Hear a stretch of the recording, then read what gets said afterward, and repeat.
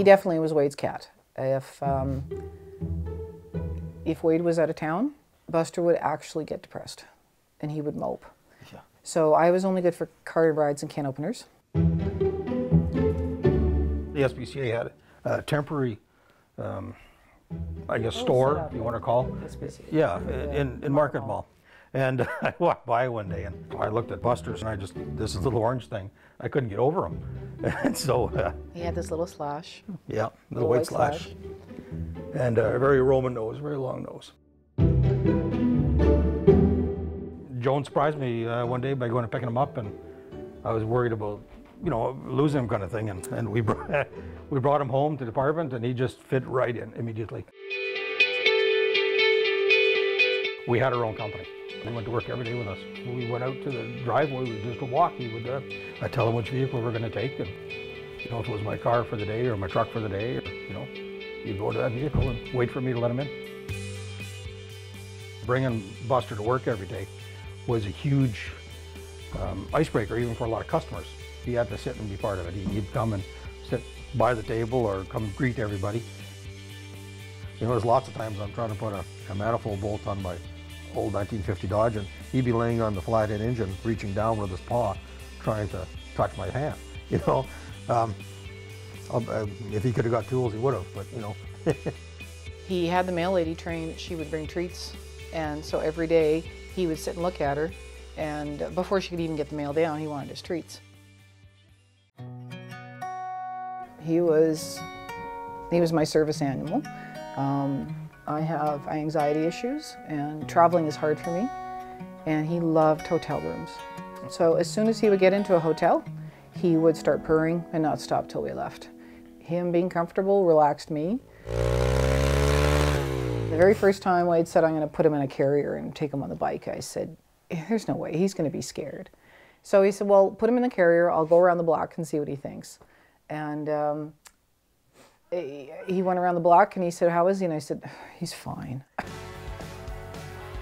I came out of Princess Auto one night, and uh, there was this really nice white Road King sitting there, and I walked over to it, and so this big fella comes out behind me. And, I mean, I mean, big guy, no neck, you know, like the tattoos, the whole nine yards, everything you think is a stereotypical biker, right? And as it is, he belonged to one of the well-known gangs here in town, and uh, he looked over my bike, and Buster's on the back, and he goes, "You got a cat with you?" We went over, we sat for 45 minutes on the curb talking about cats. He said his cat's name was Pudding, and, and he couldn't get Pudding to ride with him. And he's just amazed at how Buster would ride with me. He went on the boat. He, Oh, had, love fishing, yeah. he had his own life jacket.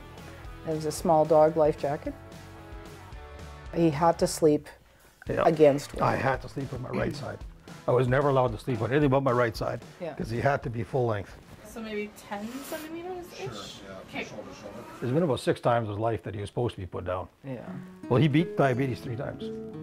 You know, insulin every day. We tested his ears, tested blood glucose. glucose. He was, he was starting to slow down the last couple of years. He still wanted to go with Wade. All of a sudden, he, um, he wasn't walking so well on Tuesday uh, before Father's Day. We tried hydration, we put saline solution under the skin, and he just wasn't coming back. So we took him in the next day. She did some tests, and she said he's, his kidneys are failing. He slept a lot. Slept a lot. We thought, you know, maybe he'll come out of it, maybe he'll be okay. He wasn't doing good. About nine o'clock, Right at sunset. right at sunset, he was in the backyard. He actually crawled to the, the deck. He meowed at Wade. Wade went to pick him up, and within five minutes, he was gone. He died in Wade's arms about 9:30 on Father's Day. The day he died was a rough one. Um, we uh, we were lost.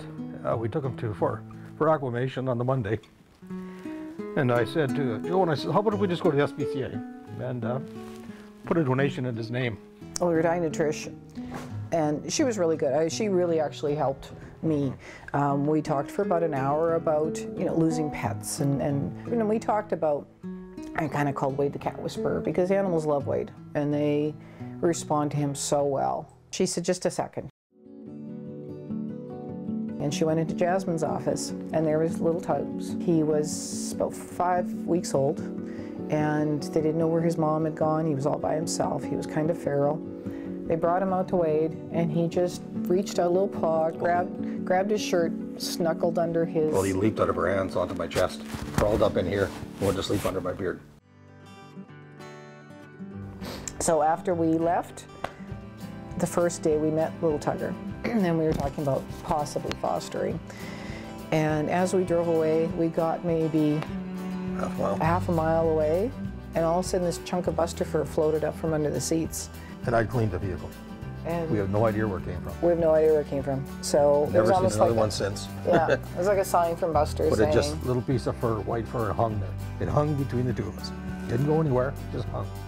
So we stopped and grabbed it, and Chris kept it. We decided to foster him, and he was so little. He was um, almost shaky. He could barely walk. So the first couple of nights, um, I barely got any sleep because he slept with us, and I was so worried about squishing him. And he was lonely, and he kind of cried. And, and uh, we started feeding him, and he started gaining weight, and he was um, a happy little kitten. So he's very, he's very busy. Yes, I know, buddy. Yeah. But he is a kitten. He's a very much a very active kitten. and Aren't we haven't had a kitten in the house for decades. These guys are, are sleepy, so um, I'm not used to having this crazy wild thing. Can't imagine that, you know, if we'd left him at the SPCA, what would have happened to him? Whether he, you know, being in a cage, being all alone. Um, I just can't imagine it. And all those poor kitties there, they really need, they need homes. if we could adopt everybody, we would. We're, we're the crazy cat people, obviously. Yeah, thank you, but Tugger. So we had taken him to our vet just for a checkup, and uh, she found a heart murmur. So we're still working with the SPCA in a foster to adopt situation because Tugger is definitely ours. Oh yeah, he's not going anywhere now. Six months, six years, whatever it is. Look at him. You know, he's racing around. You never know that there's anything wrong with him. Come on, buddy. That's the boy. Come on. Come on. He loves the truck. He, he'll, he'll crawl up on the dash. Actually, a lot of times he sits on my shoulder when I'm driving. I've taken him on walks. I've already leash training him. Uh, he's been out in the bush on a hike with me.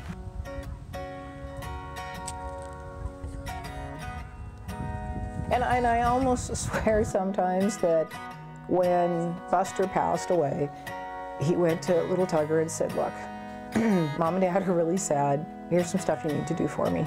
He's got some Buster qualities. He's, um, you know, he likes the car. He sits on the dash. He does things like Buster does. He's Wade's cat. I'm second best again. It keeps me humble. a lot of people said, you know, you should wait with after after Buster, but the house was just so quiet. We were so sad. he doesn't replace Buster.